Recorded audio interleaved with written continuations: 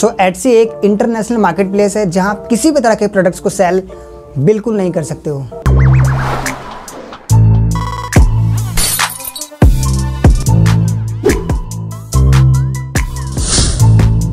तो सबसे पहले मैं आपको बता दूँ कि ये एक फ्री कोर्स स्टार्ट हो रहा है आज से जिसका नाम है एटसी बूट कैंप जहाँ पर मैंने आपको बताया था कि, कि आप किस तरीके से जैसे कि मैंने बताया कि मैं एटसी पे काम कर रहा हूँ एटसी पे सेल कर रहा हूँ फिर डिजिटल प्रोडक्ट्स को सेल करता हूँ तो जो भी सारे मेरे एक्सपीरियंसेस रहे हैं मैं आपको इस पूरे फ्री के कोर्स में सिखाने वाला जो कि मैंने पेड कोर्सेज से सीखा है एंड जो भी सारी चीज़ें स्टार्टिंग से लेकर स्टार्ट करने से लेके एंड क्यों इंडिया के मोस्ट सेलर्स जो सेल नहीं कर पाते इस पर क्या रीजन है इसके तो सब कुछ मैं अपना खुद का एक्सपीरियंस एंड जो भी सारी चीज़ें होती है वो सब कुछ शेयर करने वाला हूँ विद ए फ्री कोर्स ठीक है? सो इस कोर्स का ये पहला वीडियो है जिसमें मैं आपको बेसिक्स बताने वाला हूँ। एडसी के बारे में आखिर एडसी क्या है एनएडसी की किस तरीके से काम करता है मंथली ट्रैफिक्स के एडसी के एंड जो भी सारे बेसिक्स क्वेश्चन है, ठीक है? तो चले फिर, अब इस वीडियो को हम यहाँ से स्टार्ट करते हैं।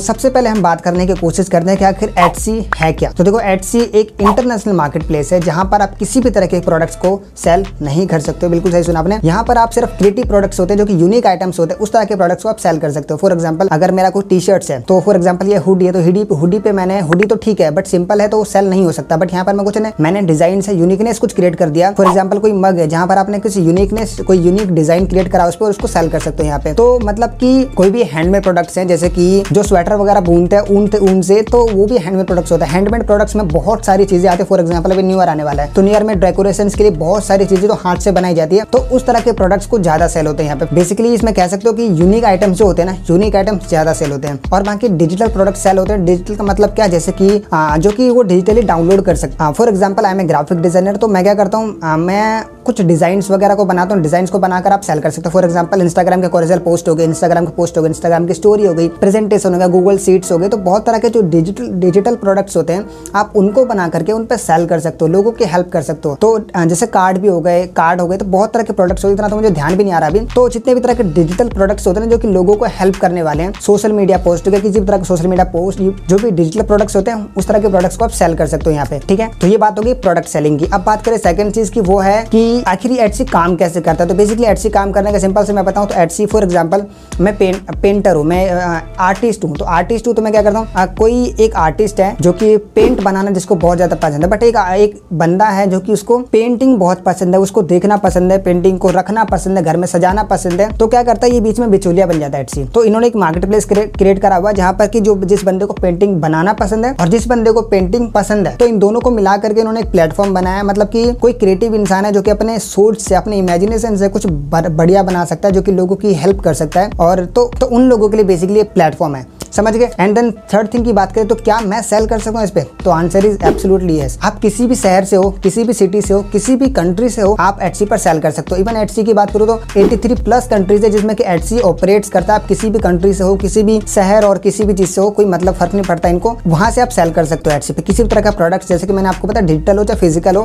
फ़िज़िकल में जैसे कि मतलब यूनिक प्रोडक्ट होना चाहिए आपका तो उस तरह के प्रोडक्ट्स को आप सेल कर सकते हो इस पे. ठीक है? अब थोड़ा बात करें इन्वेस्टमेंट की. भाई, सब कुछ तो ठीक है, लेकिन इन्वेस्टमेंट क्या लगती है? तो इन्वेस्टमेंट में आपको बताऊँ ज़ीरो लगता है। बट ज़ीरो कैसा वाला ज़ीरो वो मैं आपको नेक्स्ट किसी वीडियो में बताऊँगा। इसकी जो भी रिक्वायरमेंट्स है क्या रिक्वायरमेंट्स है आपको किस तरीके से स्टार्ट करना है मैं आपको नेक्स्ट वीडियो में बताऊँगा। अब बात करते मेन चीज़ की भाई आ, मतलब की सेल तो कर लू मैं लेकिन सबसे पहले ये समझना तो पड़ेगा कि कितने लोग आते हैं इस पर कितने लोग खरीदते हैं यहाँ से। तो इसके लिए मैं आपको अभी अपने स्क्रीन पे लेके चलता हूँ मैं दिखाता हूँ आपको मंथली विजिट्स क्या आते हैं इसके ठीक है? तो चलो मेरे स्क्रीन पे आ जाऊँ तो अभी मैं स्क्रीन पर आ गया हूँ स्क्रीन पर आपको दिख रहा होगा तो फॉर एग्ज़ाम्पल मैं आपको ले चलता हूँ अभी सिमिलर वेब पे। तो सिमिलर वेब क्या है आपको नहीं पता यहाँ से आप चेक कर सकते हो किसी भी वेबसाइट का ट्रैफ़िक वगैरह जो भी आप सर्च कर सकते हो। यहाँ से, ठीक है? तो अभी यहाँ पे करना है क्या आपको सिंपली यहाँ पे मैं सर्च करता हूँ एटसी तो ये आ गया एटसी तो ये एटसी का खुल चुका है मैं आपको दिखाता हूँ यहाँ से स्टार्टिंग में। तो ग्लोबल रैंक की बात करें तो ये 55 ग्लोबल रैंक में आता है वर्ल्ड वाइड में। एंड यहाँ पे कंट्री रैंक में देखा जाए यूनाइटेड स्टेट में 27 है। एंड कैटेगरी रैंक में ई कॉमर्स एंड शॉपिंग में ये फोर रैंक पे है, ठीक है? एंड सबसे बड़ी चीज़ जो कि हमारे लिए इंपॉर्टेंट है हर एक सेलर के लिए, वो है इसके मंथली विजिट्स क्या है? डे बाई डे मतलब कि इंक्रीज हो रहे हैं हर मंथली इंक्रीज हो रहा है देख रहे हो। टोटल बात करें टो, टोटल विजिट्स की तो 450.30 मिलियन विजिट्स है। तो मतलब बहुत बड़ा नंबर होता है देखा जाए तो।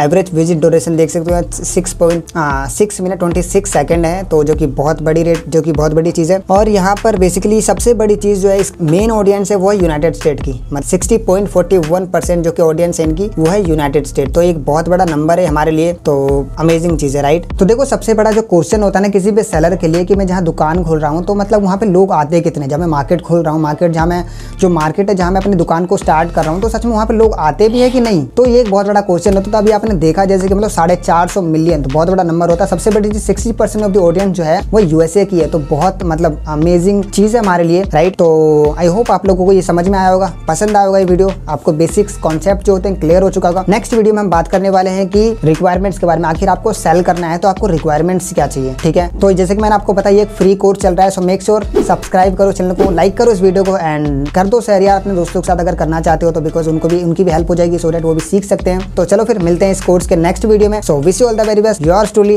Rohit विले